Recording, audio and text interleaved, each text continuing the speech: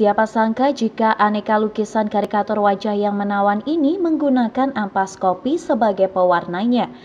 Tangan kreatif Rama Faisananda warga Kelurahan Setul Kecamatan Kepanjen Kidul Kota Blitar ada di balik karya menarik ini. Sejak beberapa tahun terakhir, ia menuangkan ekspresi seninya di atas kertas dan kanvas dengan menggunakan ampas kopi sebagai pewarna. Teknik melukis kopi ini bisa menggunakan ampas atau juga air kopi yang kental. Butuh keterampilan dan ketelatenan khusus saat meracik kopi menjadi pengganti cat untuk melukis. Tema tokoh nasional dan para ulama ini menjadi pilihan Nanda dalam setiap lukisan hasil karyanya dengan menggunakan ampas kopi yang memiliki kekuatan karakter dalam setiap tokoh yang dimunculkan. Oke, untuk idenya itu berawal saya menjadi karyawan di angkringan kopi, ya.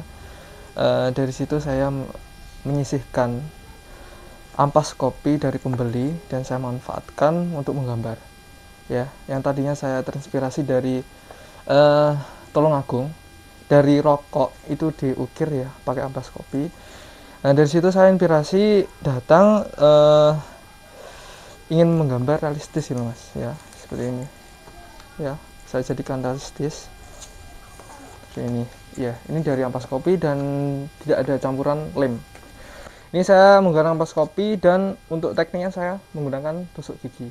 Ya, ya kalau kopi ya kopi itu ini kalau udah basah dan udah deblok gitu ya ini bisa jebol karena ini kertas bisa jebol dan nggak bisa dihapus.